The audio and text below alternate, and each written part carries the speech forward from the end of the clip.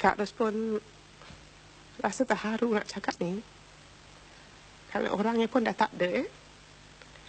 Tapi Kak Ros rasa pada pandangan Kak Ros, dia adalah sen, seorang pengarah dan uh, seniman yang betul-betul seniman.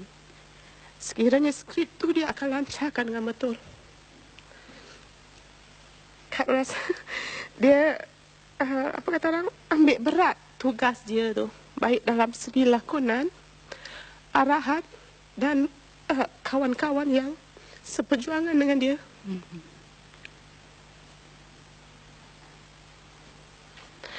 Itulah yang Kak Ro dapat cakapkan tentang dia.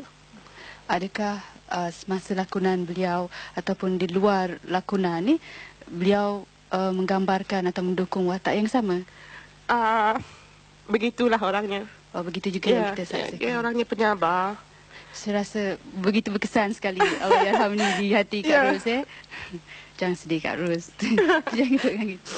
Jadi uh, sejauh ataupun selama pergaulan Kak Ros bersama Allah Yarham Nordin Ahmad ni di bidang perfilman, apakah perkara yang paling utama atau masih masih Kak Ros kenang hingga saat ni yang diajarkan oleh Allah Yarham tu? Yang sebenarnya uh, arwah arwah hampir Ramli uh, cuma memper, memperkenalkan Kak Ros dalam hanya satu filem tu saja ya. Uh, dan akhir pun dengan dia juga. Tetapi yang banyak beri Kak Ros peluang dalam gambar-gambar yang dia arahkan tu ialah pada pengarah M Amin.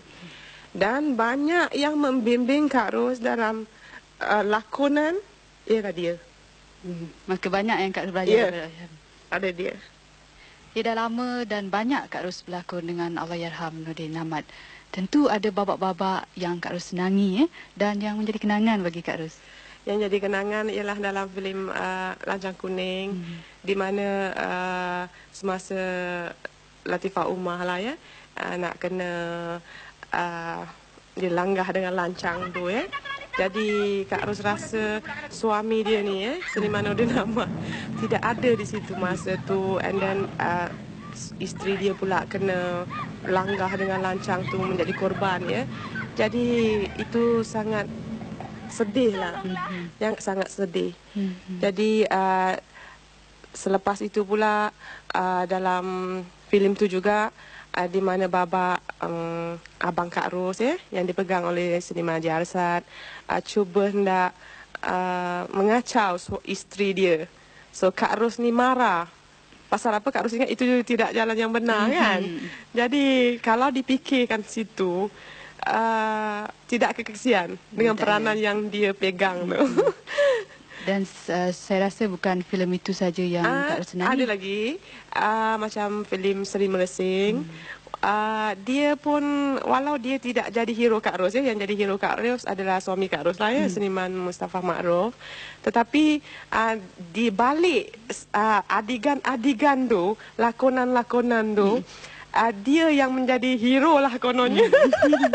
dia banyak pandu Kak Ros begini. Ha-ha. Dia banyak uh, macam sayang lah tengok ya kalau diingatkan masa di sampan yang Kak Ros bilang uh, Abang Nama uh, ini Siti nak jumpa Abang Nama kan. Orang tadi ah Tik kata dia.